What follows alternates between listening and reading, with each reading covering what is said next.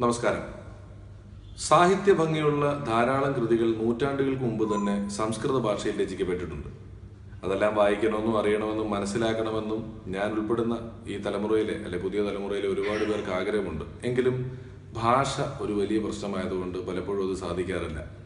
ഇതിന് ഒരു പരിധിവരെ അല്ലെങ്കിൽ പൂർണമായും ഒരു പരിഹാരം കാണാനായി പുതിയൊരു വെബ്സൈറ്റ് ആരംഭിച്ചിരിക്കുകയാണ്. അതിൽ സംസ്കൃതത്തിലെ മഹത്തായ കൃതികൾ അറിയപ്പെടുന്ന ഗായകർ ആലപിക്കുന്നു അറിയപ്പെടുന്ന ആളുകൾ അതിന് വിവരണം നൽകുന്നു. അതും മലയാളം ഹിന്ദി ഇംഗ്ലീഷ് എന്നീ ഭാഷകളിൽ നമുക്ക് മനസ്സിലാകാവുന്ന രീതിയിൽ അതിന്റെ ആത്മാംശം ചോർന്നു പോകാതെ സൗന്ദര്യം ചോർന്നു പോകാതെ വിവരണം നൽകുന്നു. അതൊക്കെയാണ് ഈ വെബ്സൈറ്റിലൂടെ ഉദ്ദേശിക്കുന്നത്.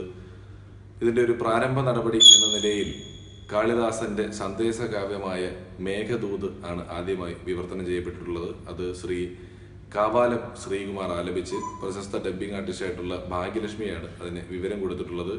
ദശരി എന്നാണ് ഈ വെബ്സൈറ്റിന് പേര് നൽകിയിരിക്കുന്നത്. ഈ ഒരു ഉദ്യമത്തിന്റെ പിന്നിൽ പ്രവർത്തിക്കുന്നവർക്കും ഈ വെബ്സൈറ്റിനും എന്റെ എല്ലാവിധ ആശംസകളും.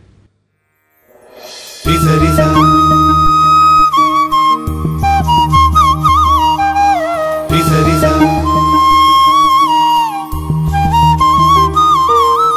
విసరిస